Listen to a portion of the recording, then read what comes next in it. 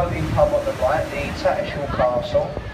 Used to be a passenger boat on the River Humber. Moored in London as a floating pub. The Gothic style building on the right is Whitehall Court Mansion, home to the five star Royal Horse Guards Hotel, the Tattershall Castle and the Whitehall Court. And then on the left hand side now we have London Eye. London Eye is 450 feet tall, 32 pods or carriages, 25 people in each one.